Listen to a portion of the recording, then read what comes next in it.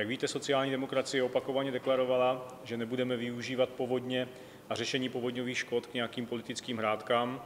Jsme připraveni se aktivně podílet na formulaci krátkodobých i dlouhodobých opatření k nápravě povodňových škod, a to jak v zasažených územích, tak řekněme ke stabilizaci systému financování integrovaného záchranného systému, přípravy vybudování protipovodňových opatření, aktualizace vodohospodářské strategie České republiky a podobně.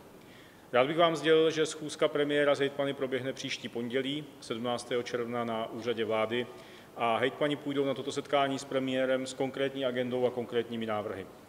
Vyhodnotíme tu akutní fázi komunikace a spolupráce krajů a vlády při samotných záchranných a likvidačních pracích.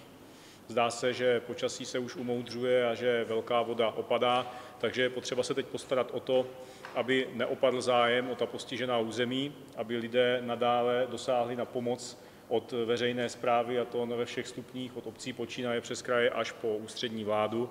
A chceme mluvit také o tom, jakým způsobem budou připravovány plány obnovy území, které bylo poškozeno po povodních.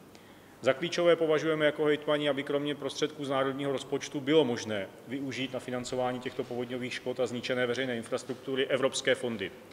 Z toho důvodu přineseme panu premiérovi apel na to, aby došlo k novému jednání vlády České republiky s Evropskou komisí, aby byla zvážena možnost tzv. realokací, to znamená převedení finančních prostředků, které by jinak nebyly vyčerpány a museli jsme je vrátit v tomto plánovacím období do Bruselu právě na řešení povodňových škod. Otázkou bude, zda dosáhneme hranic možností čerpání z tzv. Evropského fondu Solidarity. To je fond, který je určen k financování takovýchto mimořádných událostí.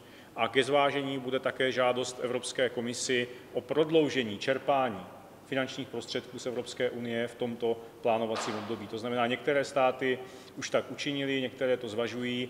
I my podrobíme analýze možnost, že by došlo k prodloužení čerpání těch finančních prostředků eh, minimálně o jeden rok, takže by se to vlastně prodloužilo z pravidla M plus 2 na pravidlo M plus 3. To jsou některé konkrétní náměty, se kterými půjdeme jako hejtmani za předsedou vlády.